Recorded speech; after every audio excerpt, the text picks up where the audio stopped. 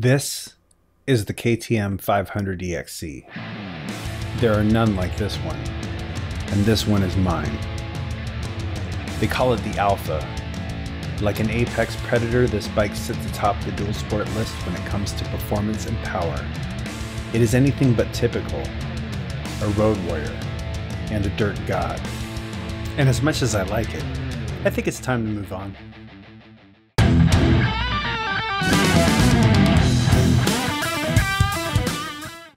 Hey everybody, welcome back to the Joe Rockstar channel. If you're new to this channel, check out my previous videos. There you'll learn how a middle-aged cancer survivor, like myself, ended up with this particular bike on this incredible journey. A journey that has taken me from remission to buying my first dirt bike, learning to ride, racing in six months, and now three years later after two seasons of racing, I have finally become competitive. But that journey is far from over. Now, if you've been watching the channel for a while, you might know that racing wasn't the plan from the start. I just wanted to learn to ride and see where it would take me. Within six months, I found myself here. This was my first race, and it was an awakening. I never knew how physically demanding and mentally challenging racing could be. Maybe during my time as a Marine, I got accustomed to adversity, but whatever the reason, I was hooked. I would go on to race the entire next season, finishing 10th in my class. During the following off season, I modified the bike, removing the bits that made it street legal, switching to skinnier tires, making any changes that I thought would make the bike more nimble and lighter.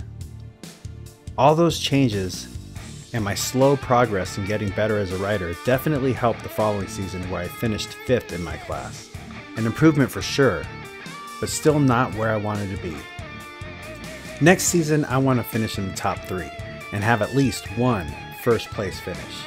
And while I love the 500 for its smooth and seemingly endless power, I'm but a mere mortal. And it is exhausting wrestling such a powerful beast around the course. Maybe it's too much bike for me. Maybe it's too much bike for this type of racing. And I'm sure there are a ton of trolls out there that are ready to pounce on this.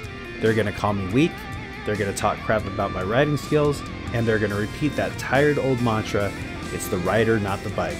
And while all of that might be true, the fact still remains that a smaller displacement bike that's lighter and easier to manage is going to help me conserve energy. And conserving energy might just be enough to keep me going where I previously would have burned myself out on that 500. And as much as I want to be able to beat my chest, win a race on the 500 Dual Sport Thumper just to say I did it, I have a pretty good opportunity right now to trade it for something a little more nimble, lighter, and easier to manage in tight single track that we so often find ourselves on in these races. The two options are a 2017 350 XCFW 4 stroke or a 2017 300 XC 2 stroke. Now, the two stroke versus four stroke debate seems to me like a steaming hot porta john full of crap and angry flies that no one should poke a stick in and stir up. But I just don't have the experience to make an educated decision. I do have a good 300 hours over the past three years on four strokes, but so many of the fastest riders keep picking up two strokes.